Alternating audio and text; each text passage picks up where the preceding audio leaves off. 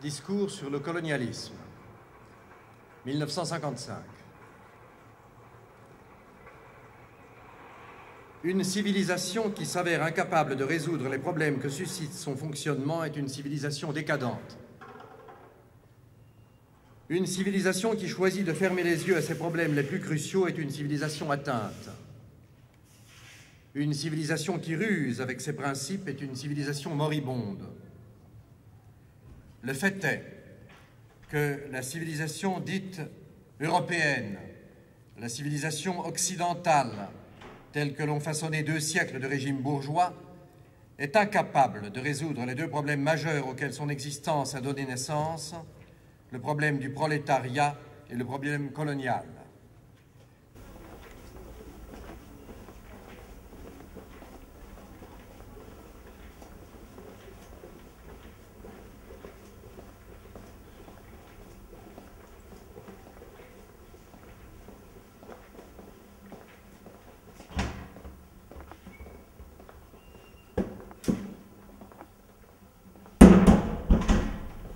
L'Europe est indéfendable.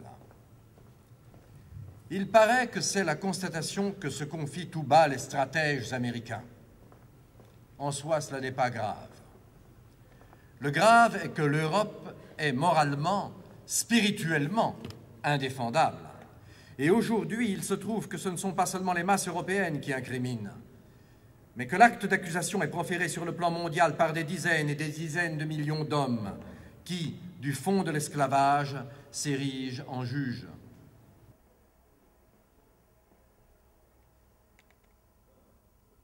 On peut tuer en Indochine, torturer à Madagascar, emprisonner en Afrique noire, sévir aux Antilles.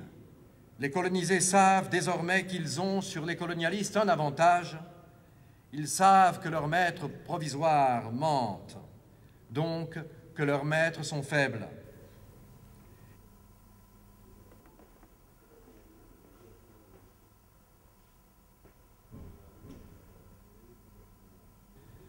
Cela revient à dire que l'essentiel est ici de voir clair, de penser clair, entendre dangereusement, de répondre clair à l'innocente question initiale qu'est-ce? En son principe que la colonisation.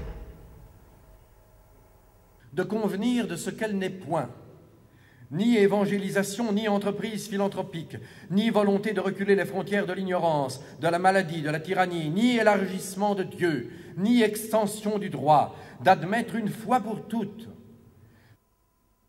sans volonté de broncher aux conséquences, que le geste décisif est ici de l'aventurier et du pirate, de l'épicier en grand et de l'armateur, du chercheur d'or et du marchand, de l'appétit et de la force, avec, derrière, l'ombre portée, maléfique, d'une forme de civilisation qui, à un moment de son histoire, se constate obligée, de façon interne, d'étendre à l'échelle mondiale la concurrence de ses économies antagonistes.